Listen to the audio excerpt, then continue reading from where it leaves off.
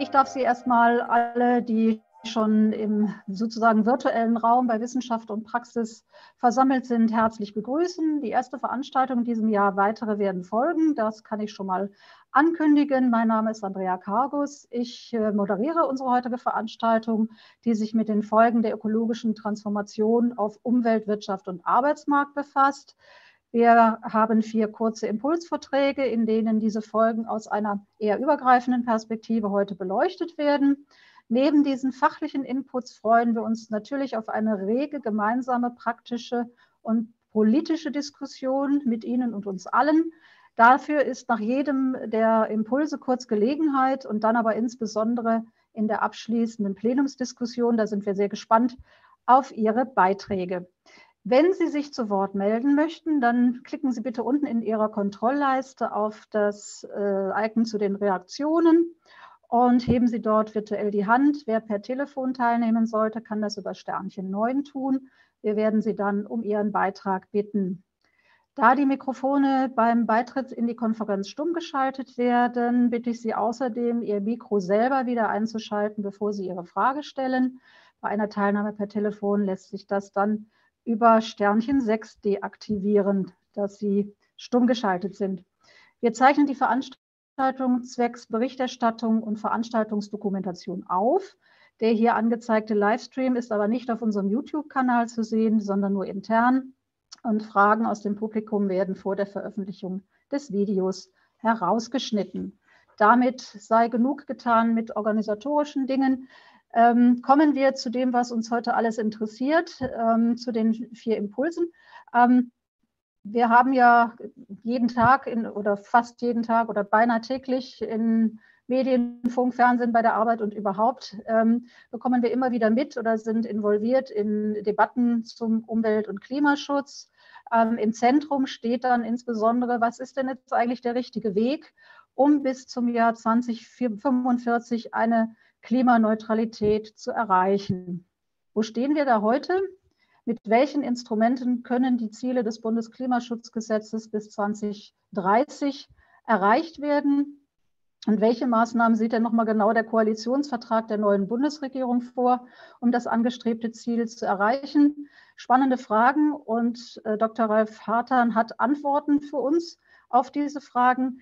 Er forscht am Institut für angewandte Ökologie, kurz Öko-Institut genannt, zu Energie- und Klimaschutz und befasst sich dabei unter anderem mit nationaler wie internationaler Klimapolitik und der Bewertung klimapolitischer Maßnahmen, Treibhausgasprojektionen, Emissionshandel und mit der Bewertung von Klimaschutzprojekten zum Mechanismus für umweltverträgliche, umweltverträgliche Entwicklung.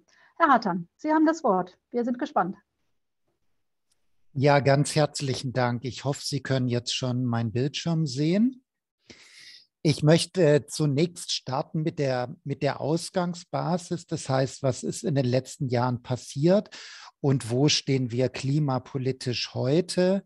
Und dann so ein bisschen gucken, was hat sich eigentlich die äh, Koalition ähm, vorgenommen. Wenn Sie sich jetzt diese Grafik anschauen, dann sehen Sie die Entwicklung der Treibhausgasemissionen in Deutschland und die Emissionsminderungsziele im Bundesklimaschutzgesetz KSG. Wenn Sie jetzt auf die linke Seite schauen, dann sehen Sie von 1990 bis 2020 die Treibhausgasemissionen, die für diese Jahre berichtet wurden, ähm, differenziert nach äh, verschiedenen Sek Sektoren. Das sind diese bunten Farben. Im Jahr 2020 lagen die Treibhausgasemissionen um 41 Prozent unter dem Jahr 1990. Das Ziel für 2020 war tatsächlich 40 Prozent. Das heißt, aus dieser Perspektive kann man sagen, das erste Ziel, nämlich 2020, ist ähm, erreicht. Wenn Sie dann aber bereits auf, die, ähm, auf den nächsten Balken gucken, das ist im Wesentlichen der Balken für 2021. Äh, hierfür gibt es auch schon erste Abschätzungen. Im Jahr 2021, also letztes Jahr, sind die Emissionen schon wieder gestiegen im Vergleich zum Jahr 2020. Das lag daran, dass insbesondere sich letztes Jahr die Wirtschaft wieder etwas erholt hat nach dem Einbruch im, im Corona-Jahr 2020. Damit ist auch die Stromerzeugung wieder angestiegen. Die Witterung war ein bisschen kälter und es gab ein bisschen weniger Stromerzeugung aus erneuerbaren Energien. Und was wir alle jetzt auch aktuell spüren, im letzten Jahr waren die Gaspreise besonders hoch. Das bedeutet, dass im letzten Jahr auch die Kohlekraftwerke verstärkt gelaufen sind. Das heißt, diese, diese Zielerreichung im Corona-Jahr 2020 war eigentlich nur so ein Einmaleffekt. Die Emissionen sind jetzt mittlerweile schon wieder höher. Wenn Sie dann auf die rechte Seite schauen, dann sehen Sie in diesen braunen, ockerfarbenen äh, Balken, das sind die Ziele des Bundesklimaschutzgesetzes. Das heißt, da müssen die Treibhausgasemissionen jedes Jahr weiter runtergehen, sodass sie 2030 um 65 Prozent unter 1990 liegen 2040 88 Prozent und 2045 soll dann eine Treibhausgasneutralität schon erreicht sein. Wo stehen wir jetzt, wo wir tatsächlich politisch stehen? Das ist die schwarze Linie, das ist der Projektionsbericht der Bundesregierung wo die alle Politikmaßnahmen der Bundesregierung ähm, mit Stand Sommer 2020 modelliert wurden. Und wenn man diese schwarze Kurve vergleicht mit den Zielen, mit diesen braunen Balken, dann sieht man, dass die Lücke doch relativ groß ist. Wenn Sie jetzt oben schauen, ganz oben in der Grafik sieht man, dass zwischen 2010 und 2019 im Durchschnitt 15 Millionen Tonnen Treibhausgase pro Jahr eingespart wurden. Und wenn wir aber wieder auf diesen Pfad kommen wollen, auf diesen Pfad des Gesetzes, dann müssten im Prinzip bis 2025 36 Millionen Tonnen äh, pro Jahr eingespart werden, dann bis 2030 41 Millionen Tonnen und dann bis 2040 rund 30 Millionen Tonnen. Und das ist, was äh, Minister Habeck dann auch meinte, dass wir die Klimaschutzanstrengungen mehr als verdoppeln müssen im Vergleich zu dem, was bislang passiert ist.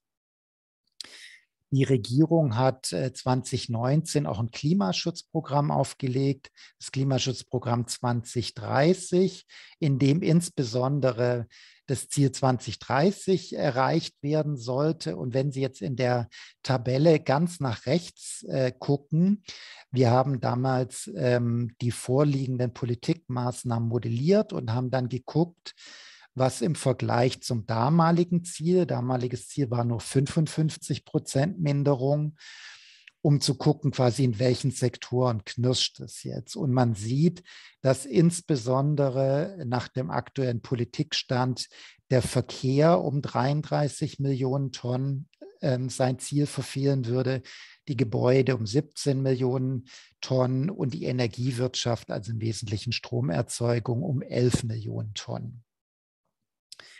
Das heißt, die Frage ist jetzt, wie erreichen wir denn jetzt eigentlich das erste Etappenziel 2030? Was, welche äh, Politiken und Maßnahmen müssen bis dahin jetzt erstmal umgesetzt werden?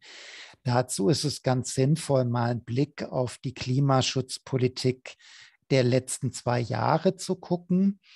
Ähm, zunächst hat das Bundesklimaschutzgesetz ähm, eine Minderung bis 2030 von 55 Prozent vorgesehen. Und in der Tabelle, die ich Ihnen jetzt gerade gezeigt habe, ähm, wurde ja dargestellt, dass das, Poli das äh, gegenwärtige Politikpaket nicht mal für diese 55 Prozent reicht. Dann hatten wir im April letzten Jahres hatten wir das Urteil des Bundesverfassungsgerichts, wo geurteilt wurde, dass die gegenwärtigen Klimaschutzanstrengungen nicht ausreichen, um die Freiheitsrechte der künftigen Generation zu schützen. Darauf hat dann die Bundesregierung, also noch die Große Koalition, sehr schnell reagiert und hat bereits im Juni letzten Jahres das Bundesklimaschutzgesetz novelliert.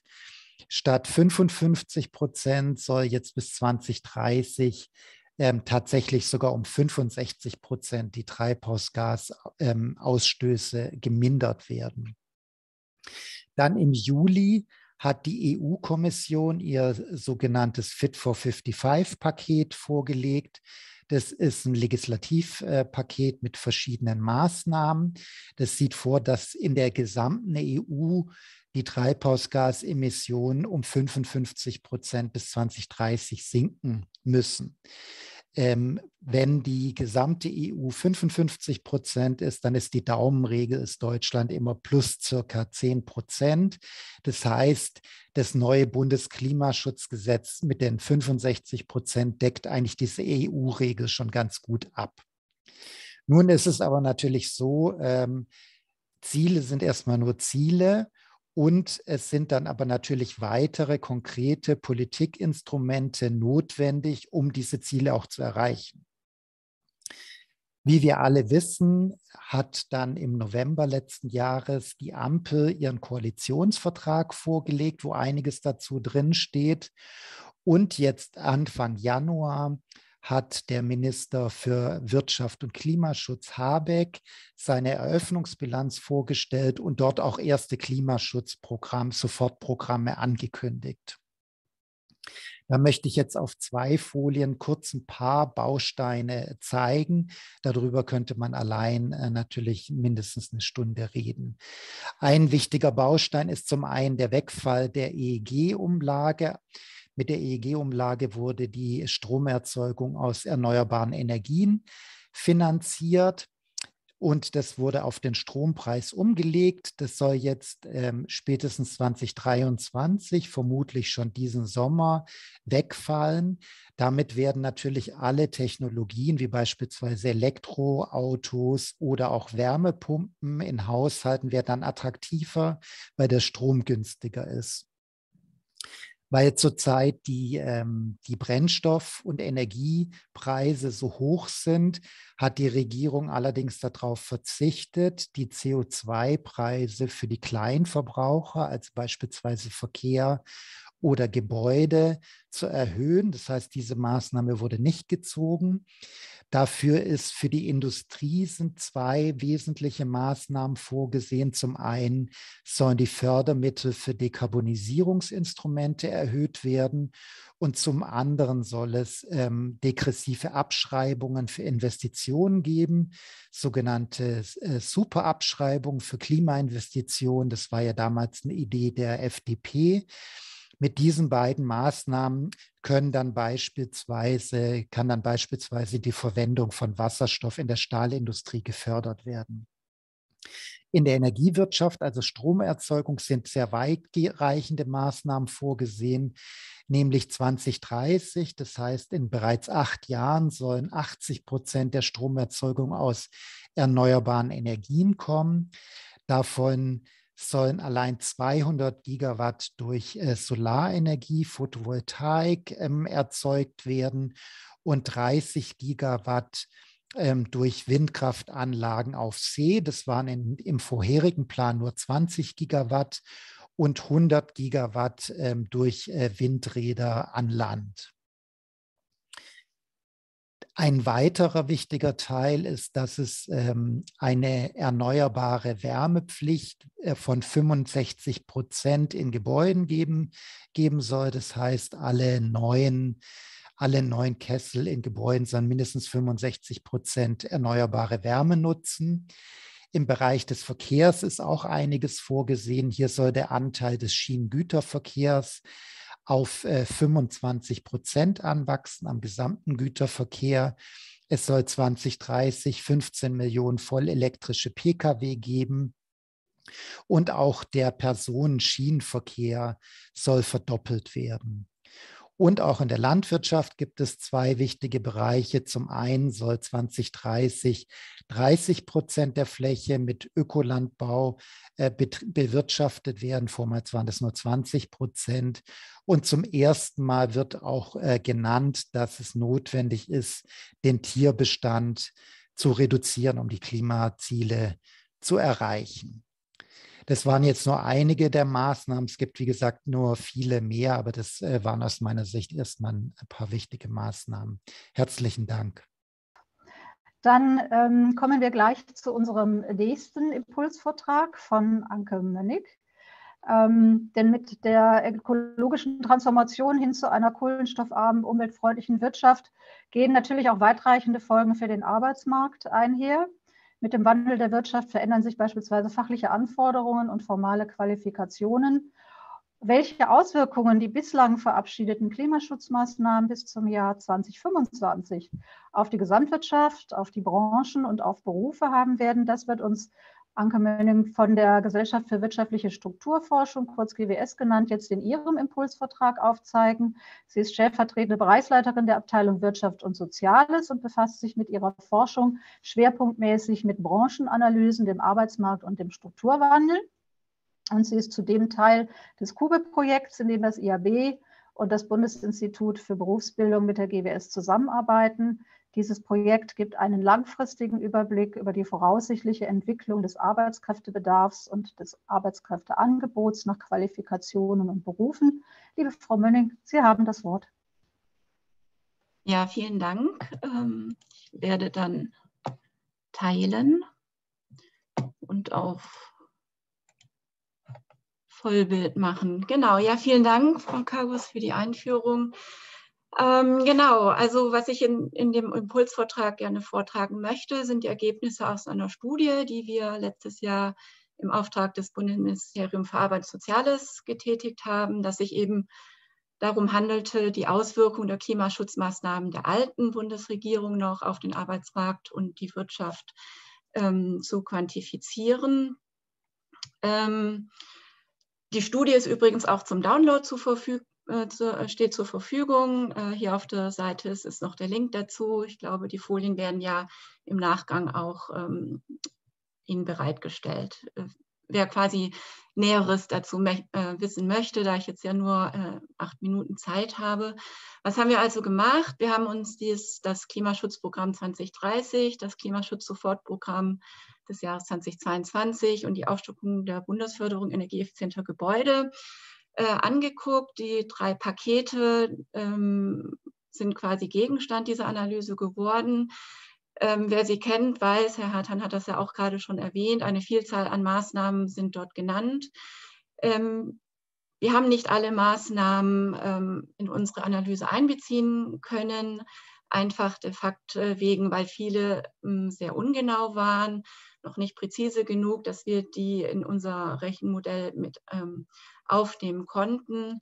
Was wir aufgenommen haben, vielleicht ein paar Beispiele dazu, das ist die CO2-Bepreisung, Ausbau der erneuerbaren Energien, noch mit dem Zielpfad der alten Bundesregierung, ähm, Ökolandbau. Andere Maßnahmen konnten wir aber nicht berücksichtigen, wie zum Beispiel äh, Wiederpflege der Moore oder so, das eben für uns schwierig war, ähm, tatsächlich da eine Quantifizierung hinzubekommen weil eben auch der Umstand, wenn man viele Maßnahmen hat, die man ähm, analysieren möchte, diese eben unterschiedlich wirken, teilweise gegensätzlich wirken und diese Gleichzeitigkeit in einem einfachen Gedankenspiel schon nicht mehr zu bewerkstelligen ist. Deswegen sich üblicherweise eben Rechenmodelle anbieten, diese zu nutzen, um den Gesamteffekt äh, beziffern zu können.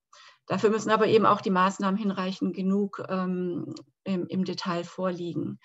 Wir haben dann das Rechenmodell in Kombination mit einer Szenariorechnung genutzt, um tatsächlich äh, herausarbeiten zu können, was äh, der Mehrwert der Klimaschutzprogramme in Form der Wirtschaft, Wirtschaftswachstum und äh, der Situation auf dem Arbeitsmarkt geschuldet ist.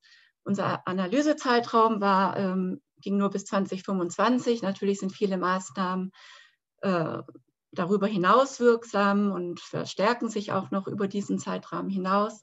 Wir haben in diesem Fall aber eben das Ende 2025 äh, gemacht. Warum macht man das? Dient eben der vorausschauenden Politikberatung und eben auch denn vor allen Dingen die, die, Frage eben, haben wir überhaupt genügend Arbeitskräfte, um diesen Wandel ähm, beschreiten zu können? Damit möchte ich eigentlich auch schon auf die Ergebnisse dann überleiten. Was Sie hier sehen, ist die Gesamtwirkung. Die Gesamtwirkung jetzt am Beispiel des preisbereinigten Bruttoinlandsprodukts. Hier sehen wir quasi die Abweichung in Prozent. Ähm, man sieht, es wird einen, wirtschaftlich, äh, einen positiven Wirtschaftseffekt geben, wenn jetzt diese von uns ausgewählten Maßnahmen umgesetzt werden würden. 2025 würde das auf ein mehr von 0,6 Prozent im Bruttoinlandsprodukt äh, herauslaufen. Dahinter steht natürlich ähm, äh, unterschiedliche Treiber. Der Haupttreiber für diese Entwicklung ist in den Ausrüstungsbauinvestitionen zu sehen, die ähm, besonders durch die Maßnahmen ähm, ja, getrieben werden. Einbezogen aber auch in diese Entwicklung sind Zweitrundeneffekte, die daraus entstehen, dass zusätzliche Arbeitskräfte auf den Markt kommen, dass zusätzliches Einkommen generiert wird, dieses wiederum ausgegeben wird und somit der Kreislauf, Wirtschaftskreislauf ähm, weitergetrieben wird. Ähm, jetzt hatte ich ja gerade schon gesagt, zusätzliche Erwerbstätige werden auch entstehen. In unserer Analyse werden wir 2025 knapp 130.000 mehr Erwerbstätige auf dem Arbeitsmarkt haben. Was Sie hier sehen, sind jetzt nur die zwölf Wirtschaftsbereiche mit den größten Wirkungen. Sie sehen auch, dass es positive gibt, aber eben auch negative Effekte, die sich aus diesem Potpourri an Maßnahmen ergeben. Sie sehen auch ganz deutlich eine starke Konzentration auf das Baugewerbe, was eben abgeleitet ist eben durch diese starken Bauinvestitionen, die zu erwarten sind, wenn diese Maßnahmen umgesetzt werden würden. Es gibt aber auch andere Branchen wie den Landverkehr, die Landwirtschaft, die davon profitieren. Es finden sich auch eben wie zum Beispiel das Gastgewerbe, die sich eben hauptsächlich durch diese Zweitrundeneffekte positiv von der Referenz absondern. Andere, wie zum Beispiel die Autoindustrie, ähm, ja, werden leichte leicht niedrige Erwerbstätigenzahlen ausweisen, äh, was eben dem Umstand geschuldet ist, dass hier zu Änderungen in Produktionsweisen auch kommen wird. In der nächsten Folie ist so ähnlich aufgebaut, bezieht sich eher auf die Berufe. Abgebildet sind die 14 Berufsgruppen mit den größten Wirkungen im Jahr 2025.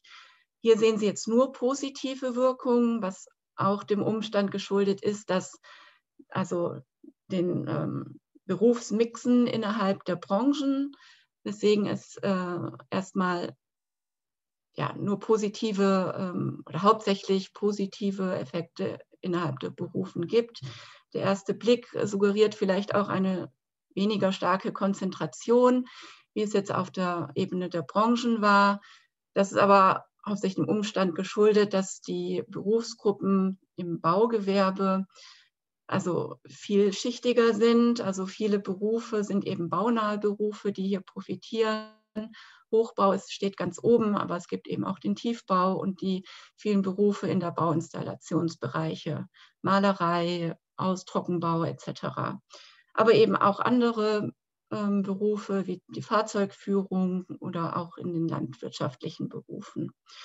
Was hier noch bislang ja unberücksichtigt blieb, ist quasi die Frage nach dem Angebot. Das ist jetzt hier nicht abgebildet. Das ist jetzt ähm, quasi indirekt nur drin in der farblichen Darstellung. Die roten und weiß-rot schraffierten Balken identifizieren diese Berufe, wo quasi heute schon einmal von der Bundesagentur für Arbeit selber Fachkräfteengpässe identifiziert werden und im Rahmen der Fachkräftemonitorings vom BMAS zukünftig Rekrutierungsschwierigkeiten äh, zu erwarten sind. Das ist, sind also erstmal äh, einige, äh, vor allen Dingen eben auch in den baunahen Berufen, aber auch in der Fahrzeugführungsbranche, sage ich jetzt mal so.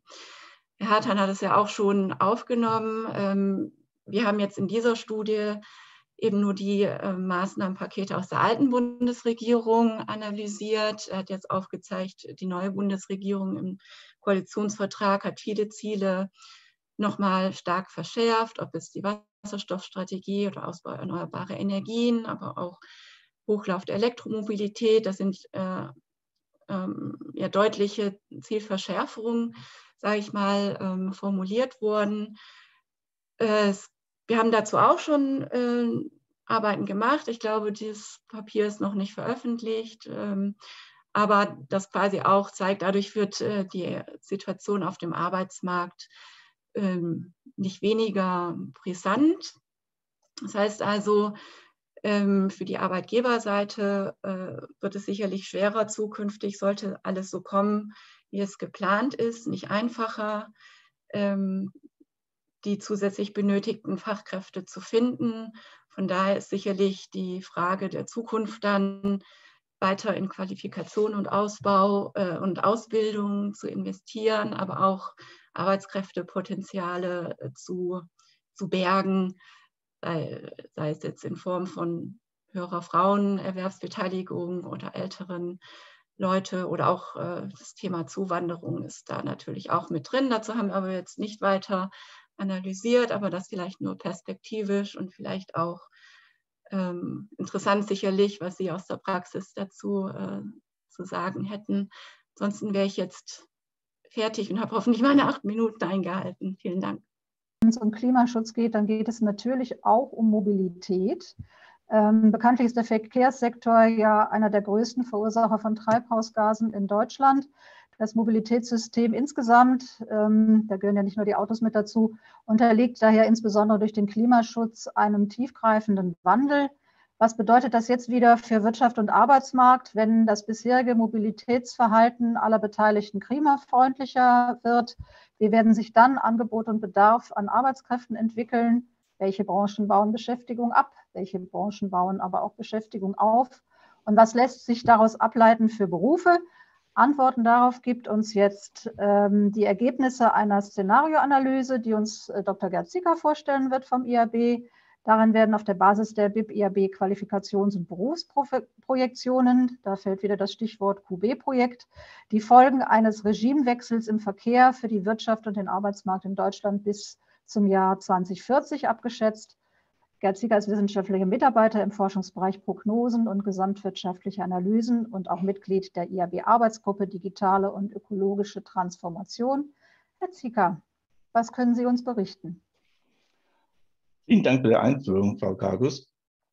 Also wie gesagt, äh, es hat ja auch schon im ersten Impulsvortrag, oder Sie, Frau Kargus, haben auch gerade darauf hingewiesen, dass sich der Verkehrssektor noch einen großen Beitrag leisten könnte zur CO2-Reduktion. Und daher haben wir uns die einmal näher angesehen und haben uns halt die Frage gestellt, was, welche Auswirkungen es auf den Arbeitsmarkt geben würde, wenn das bisherige Mobilitätsverhalten sich ein bisschen klimafreundlicher verhalten würde als in der Zukunft, als in der Vergangenheit.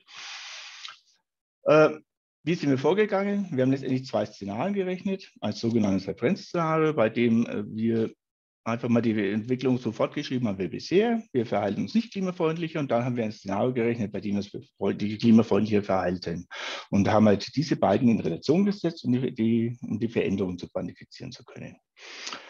Die wichtigsten Schwerpunkte dieses Szenarios lagen darin, dass wir gesagt haben, dass künftig wird weitaus mehr der öffentliche Nahverkehr und der Fernverkehr genutzt als in der Vergangenheit. Das heißt, der Individualverkehr wird reduziert beim Personenverkehr. Dazu müssen auch einige Voraussetzungen geschaffen werden. Das eine ist, dass die entsprechende digitale Infrastruktur geschaffen wird, dass äh, smartere Mobilitätskonzepte auf den Weg kommen, um das ein bisschen noch bequemer zu machen, dass die Leute umsteigen werden. Und Gleichzeitig auch haben wir dann automatischen Verfahrensbetrieb angenommen, weil eben immer mehr äh, dann das genutzt werden würde. Aber nicht nur beim Personenverkehr, sondern beim Güterverkehr haben wir ähnliche Annahmen getroffen, eben dass eben weitaus mehr von der Straße verlagert wird Richtung Güterverkehr. Insgesamt ist es so, dass wir aber nicht angenommen hatten, dass jetzt mehr äh, Schienen gebaut werden, mehr weitere äh, Strecken aufgebaut werden, sondern eben, dass die Voraussetzung geschaffen wird, dass wir schnellere Taktung erreichen können, dass also die bisherigen Schienennetz besser äh, ausgenutzt werden kann, dass wir eben in eine kürzere Reihenfolge fahren können. Das sind einige Investitionen halt notwendig.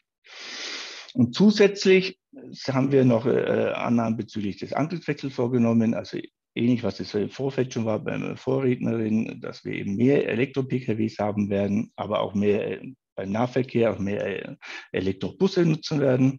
Dann sind natürlich auch Investitionen nötig, die die Ladeinfrastruktur verbessern, damit man es auch tatsächlich nutzen kann, die E-Busse. Und schließlich haben wir uns noch alternative Antriebssysteme angenommen für die Binnenschiffe.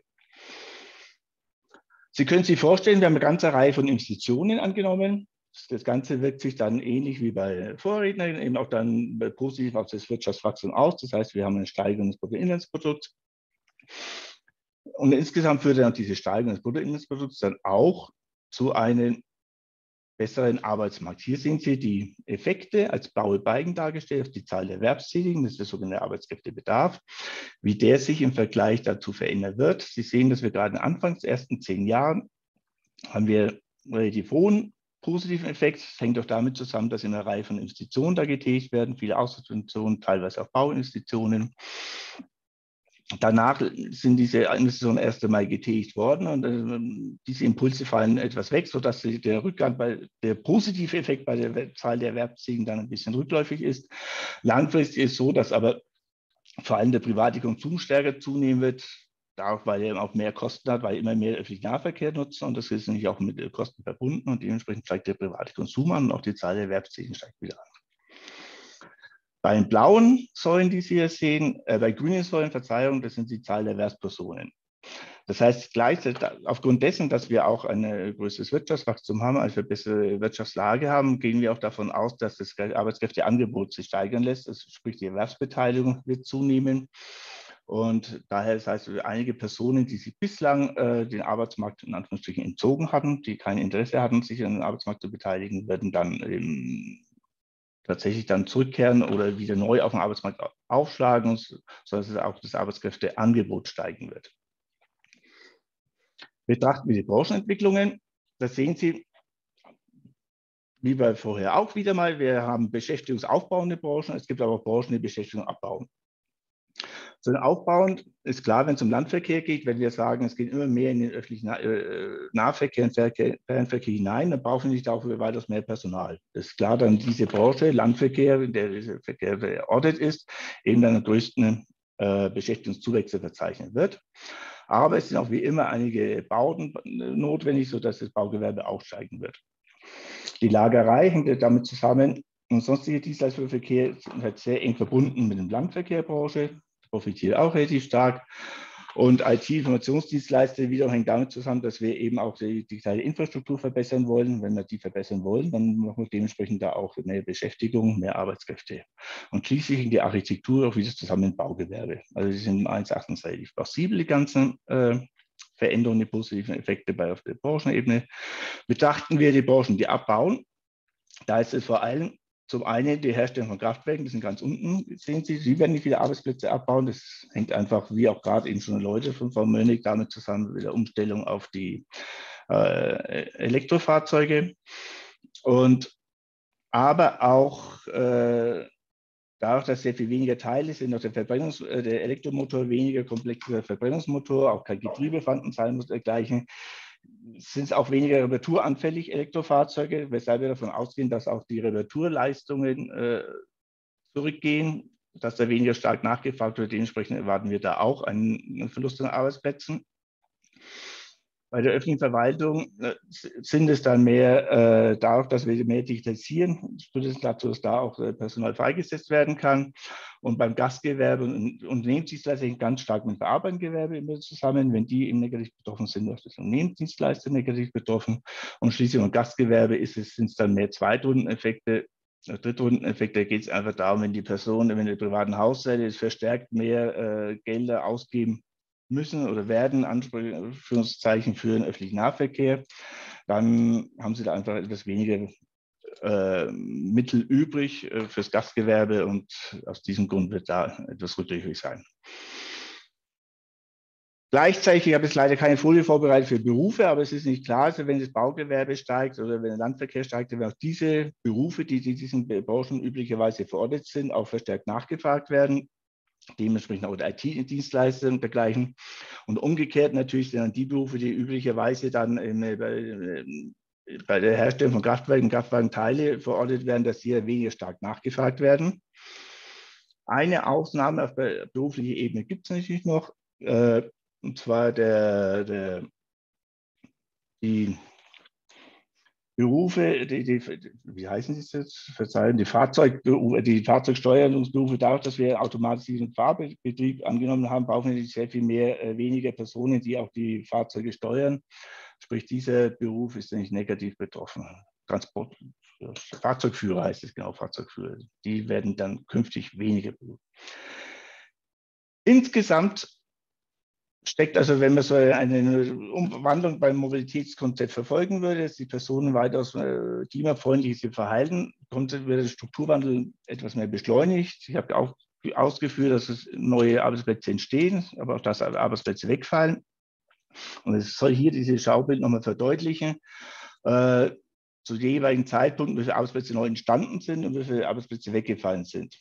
Und jetzt ist ja diese Problematik, was ja auch in einer Frage aufgekommen ist, zum einen, dass nicht die Qualifikationen oder Anforderungen bei Berufen, die wegfallen, allgemein nicht dem entsprechen, die neu nachgefragt werden.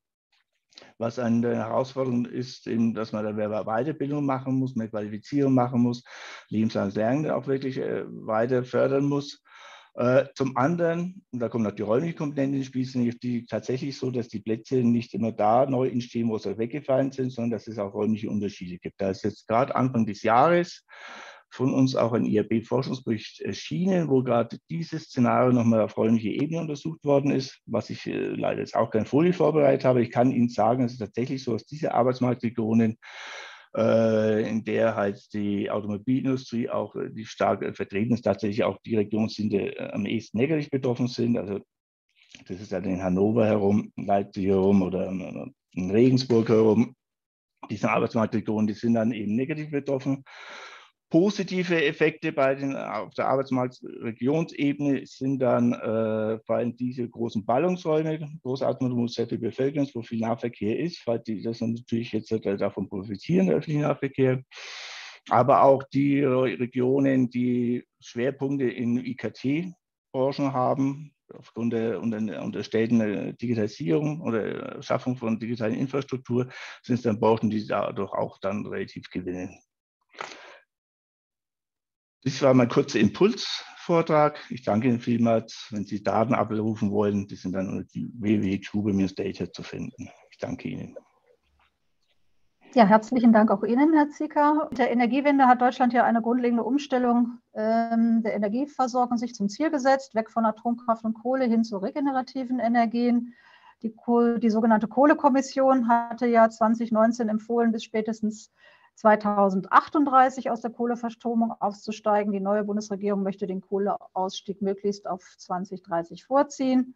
Das wird äh, nicht überall mit großer Begeisterung äh, gesehen, sondern auch mit, als schwer umsetzbar und mit Sorge betrachtet in den betroffenen Bundesländern und Regionen. Was der Verlust eines Kohlejobs kostet, was dabei die Kostentreiber sind, wer am stärksten von Jobverlust betroffen ist, und ähm, welche zusätzlichen Kosten auf die Beschäftigten zukommen würden, wenn dieser vorgezogene Kohleausstieg gelingt.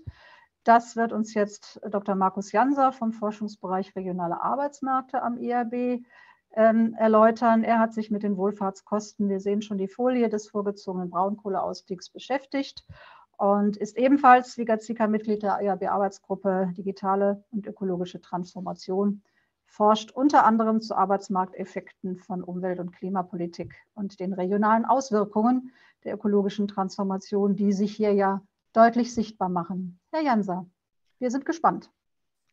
Ja, vielen Dank. Schönen guten Nachmittag auch von mir an die Runde. Vielen Dank, Frau Kargus, für die Einführung. Und ich freue mich, dass ich jetzt in, in den nächsten acht Minuten unsere Erkenntnisse zum Thema Wohlfahrtskosten des Braunkohleausstiegs näher bringen darf. Ich steige auch gleich ein. Und zwar äh, möchte ich gerne beginnen, so mit einem kurzen Blick zurück, äh, wie sich denn der Strukturwandel in der Kohle bislang gestaltet hat. Da gibt es ja eine, eine, lange Geschichte in der Bundesrepublik. Und die Abbildung, die ich Ihnen hier zeige, zeigt eben die Beschäftigungsentwicklung im Kohlenbergbau von 1950 bis heute. Und das sieht man ganz schön, also bei den beiden Kohlearten, also diese rot-braune Linie zeigt die Beschäftigung in der Braunkohle und die schwarze Linie die Beschäftigung in der Steinkohle, dass eben da der Großteil des Strukturwandels bereits im letzten Jahrhundert stattgefunden hat. Ähm, das waren natürlich hauptsächlich wirtschaftliche Gründe, die äh, zu diesen Friktionen geführt haben. Ähm, beginnend mit den 50er Jahren war die Steinkohlekrise und dieses Zechensterben ganz stark, ähm, während bei der Braunkohle vor allem dann nach dem Fall der Mauer in den 90er Jahren ein starker Rückgang bei den Beschäftigten ähm, zu verzeichnen war, während dann eben das sich stabilisiert hat auf niedrigem Niveau dann in den 2000er Jahren. Und da möchte ich jetzt kurz nochmal reinzoomen sozusagen und mich jetzt auf die Braunkohle konzentrieren, weil die folgenden Folien beschäftigen sich jetzt auch mit der Braunkohle. Steinkohle ist eben jetzt auch ja 2018 die Förderung dann ganz eingestellt worden, während bei der Braunkohle das Thema jetzt eben noch aktuell der Abbau weiterläuft. Wie wir heute schon gehört haben, aktueller Stand ist noch 2038 aber in dem Koalitionsvertrag der neuen Bundesregierung ist eben idealerweise ähm, 2030 als Ausstiegsdatum jetzt neu benannt worden. Und zum Stand jetzt ist es so in der Beschäftigung in der Braunkohle, dass eben da ungefähr 8000 Beschäftigte im engeren Sinne noch in der Braunkohle tätig sind, im Braunkohlebergbau und man kann dann ungefähr noch davon ausgehen, dass ca. 2000 Beschäftigte in so kohlenahen Dienstleistungen aktiv sind. Deswegen ja, gehen wir so von ungefähr 10.000 Beschäftigten aus, die noch in dem Braunkohlebereich, in dem Braunkohlebergbau tätig sind. Und genau mit diesen Personen haben wir uns auch beschäftigt in einem Projekt, und zwar war das von zwei Kollegen von mir aus dem Mercator Institute for Climate Change and Global Commons in Berlin, Luke Haywood, Nikolaus Koch. Und ich hatten uns angeschaut auf der Basis der Sozialversicherungsdaten der Bundesagentur für Arbeit, ähm, die Erwerbsbiografien, also alle Daten, die wir hatten von den Beschäftigten, die jemals in der Braunkohle mehr als ein halbes Jahr tätig waren, also ab 1975 beginnend bis zum aktuellen Rand und haben da uns angeschaut, wie die Erwerbsverläufe waren. Und insbesondere hat uns das auch interessiert bei den Personen, die dann schon den Wechsel in eine andere Branche auch äh, hinbekommen hatten und haben uns dann eben aber auch angeschaut, welche Beschäftigten sind denn jetzt noch diese besagten ungefähr 10.000, ähm, welche Charakteristika haben die und welche Chancen haben die denn auf dem Arbeitsmarkt. Und was uns da besonders interessiert hat, war die Frage, was kostet denn so ein Kohlejob eigentlich oder was bedeutet das für die Beschäftigten auf individueller Ebene, ähm, wenn sie ihren Job verlieren beziehungsweise einen neuen beginnen. Und wir haben herausgefunden, das ist in den zwei Papieren, die ich dann auch äh, hinten im Literaturverzeichnis nochmal anfüge. Ähm, also wir kommen auf individuelle Wohlfahrtskosten pro Person in Höhe von 155.000 Euro.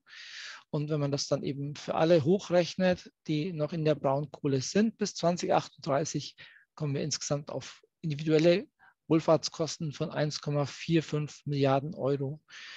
Und äh, was versteckt sich in dieser relativ abstrakten Summe? Also die hauptsächlichen Kostentreiber sind nicht, wie man vielleicht annehmen möchte, die Arbeitslosigkeit an sich. Ähm, die, die Zeiten der Arbeitslosigkeit sind nämlich da ist, äh, recht gering und machen auch nur drei Prozent dieser Kosten aus. Das, was den, den Schwerpunkt ausmacht, was so eine, eine Person dann eigentlich an Verlust hat, im Laufe ihres Erwerbslebens sind diese niedrigeren Löhne. Denn die Besonderheit ist eben, dass die Kohle eine Branche ist, die eben überdurchschnittlich hohe Löhne zahlt, zahlen konnte und eigentlich in allen Branchen, in die die Beschäftigten nachher wechseln, zahlen ähm, deutlich weniger. Im Durchschnitt sind 27 Prozent weniger. Und das macht natürlich über das Erwerbsleben eine ganz schöne Minderung des Gesamterwerbseinkommens aus. Und zusätzlich kommt dann noch, dass in der Regel in den Branchen eine höhere Jobunsicherheit herrscht, in die sie wechseln, weil Kohle auch bislang eine relativ äh, sichere Branche war, also hohe Jobsicherheit vorgeherrscht hat. Und bei den anderen Branchen ähm, gibt es immer wieder auch das Risiko, den Job zu verlieren oder dann sich nach einem neuen Job umschauen zu müssen. Das kann man eben auch monetär ausdrücken. Und äh, das ist sozusagen auch nochmal auf die Kosten draufgekommen. Wer ist am stärksten oder welche Gruppe ist am stärksten vom Jobverlust betroffen? Wir haben uns da die unterschiedlichen Gruppen angesehen, ähm, Altersgruppen und gleichzeitig auch ähm, Bildungslevel, also Bildungsqualifikationsniveaus. Äh, die die Personen haben und auch in welchen Regionen die Personen tätig sind mit einer hohen oder eher niedrigen Arbeitslosigkeit. Und wir finden da, dass die Beschäftigten mittleren Alters mit einer hohen Ausbildung am meisten verlieren. Das ist also hier zum Beispiel der, der Balken in Orange. Ähm, und die Gruppe der, der Hochqualifizierten, die haben eben dann besonders hohen, hohe Kosten im mittleren Alter. Und das liegt eben daran, dass diese Personen mit der Arbeitserfahrung, die sie bislang haben, äh, sehr viel mehr verdienten in der Kohleindustrie, als sie verdienen können in einer anderen Branche. Und eben dadurch, dass sie noch verhältnismäßig jung sind, haben sie auch noch viele Jahre zu arbeiten danach. Und deswegen summiert sich da eben dann der, die Belastung noch weiter auf. Welche zusätzlichen Wohlfahrtskosten entstehen durch einen vorgezogenen Kohleausstieg? Das kann man auch beziffern. Und zwar, wenn man davon ausgeht, dass diese acht Jahre früher ähm, der Ausstieg stattfindet, kommen wir auf eine individuelle Mehrbelastung von, für alle Beschäftigten äh, von 740 Millionen Euro. Und das liegt daran insbesondere, dass eben zwischen 2030 und 2038 ungefähr 1500 Beschäftigte eigentlich regulär in Rente gehen würden. Und diese Personen sind jetzt aber auch zusätzlich von dem Ausstieg betroffen. Also die haben entweder auch äh, höhere Kosten durch diesen Branchenwechsel, wie gerade beschrieben, oder sie ähm, sind auch für Frühverrentung dann gegebenenfalls auch, ähm, also kommt, dieser Personenkreis kommt für Frühverrentung in Frage, dann würde das Anpassungsgeld greifen und das führt dann eben auch wieder zu höheren Kosten. Ja, apropos Anpassungsgeld, wir haben uns auch noch angeschaut, welche Instrumente können denn die Beschäftigten bei der Transformation unterstützen. Da diskutieren wir zwei unterschiedliche Instrumente. Das eine ist schon beschlossen im Kohleausstiegsgesetz, das ist das Anpassungsgeld.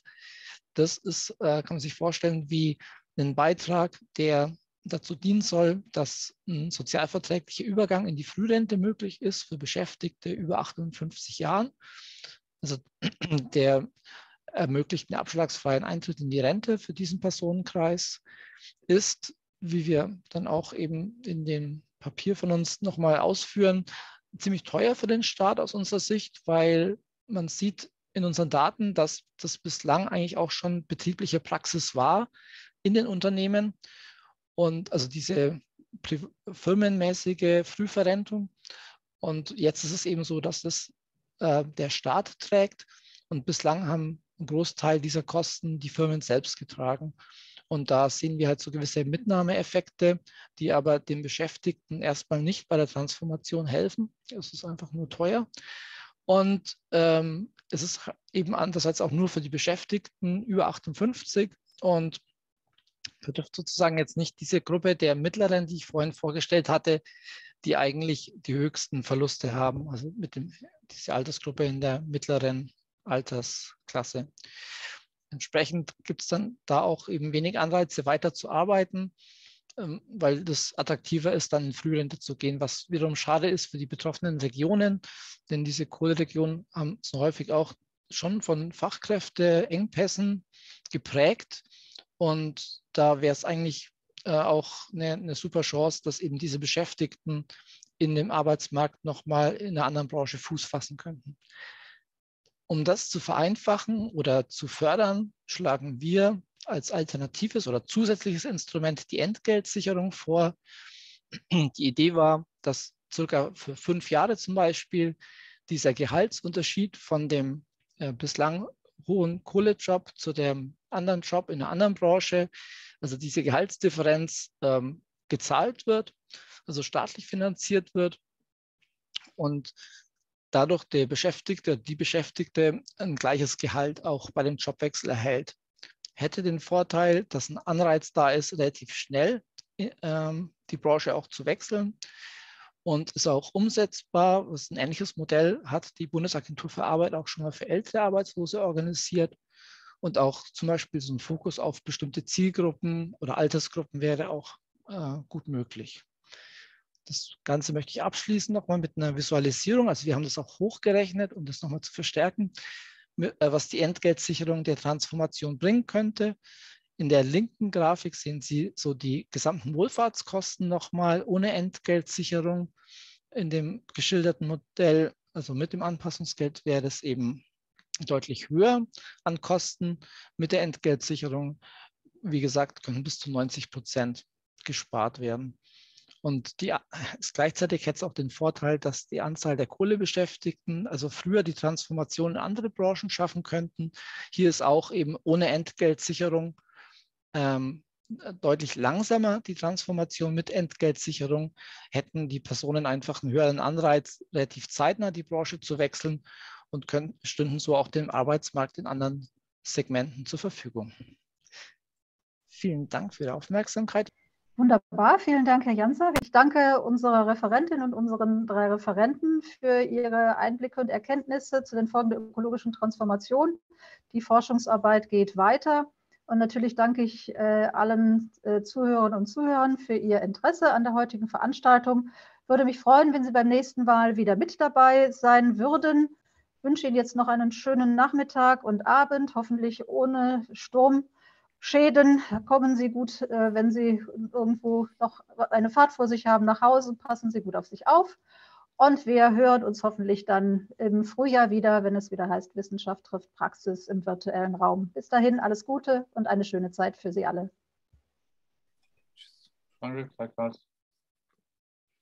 Wiedersehen.